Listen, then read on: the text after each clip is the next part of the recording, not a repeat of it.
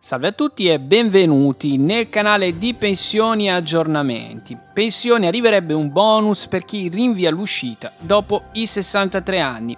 Vediamo insieme i dettagli nel breve video che segue. Prima di visionare il video, come sempre vi invito ad iscrivervi al canale e a schiacciare sulla campanella per rimanere sempre aggiornati ogni volta che sarà caricato un nuovo video sul canale. Vi invito inoltre a lasciare un mi piace in questo video per supportare il canale. Naturalmente è tutto gratuito. Altri 5 miliardi per quanto riguarda le pensioni e il fisco saranno utilizzati, secondo le ultime notizie, dal governo per prorogare le misure di flessibilità in uscita sulle pensioni che sono in scadenza il 31 dicembre come quota 102, opzione donna e ape sociali. Inoltre si vorrebbe portare la flat tax con un'aliquota agevolata al 15% per le partite IVA fino a 100.000 euro di ricavi e o sui redditi in più dichiarati rispetto al triennio precedente.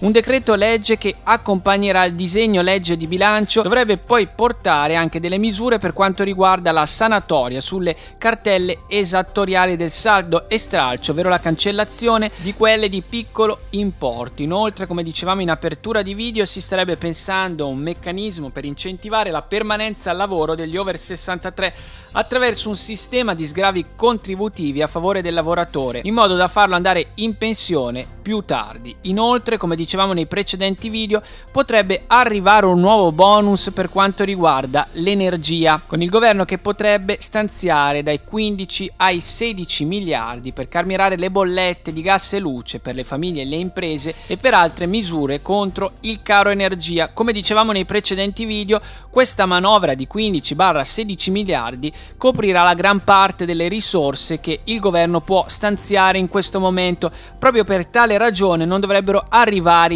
importanti novità per quanto riguarda le pensioni. Infatti, come dicevamo, si parla di proroga nel 2023 delle misure attuali, ovvero quota 102, opzione donna e ape sociale. Voi cosa ne pensate? Fatecelo sapere come sempre qui sotto nei commenti del video.